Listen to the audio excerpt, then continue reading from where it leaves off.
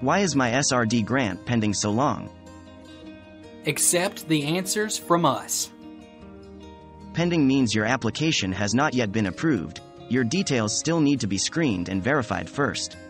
Once approved, you will receive an SMS from SASSA requesting your banking details, then you will be paid. Yes, there is no set payment date for the special COVID 19 SRD grant.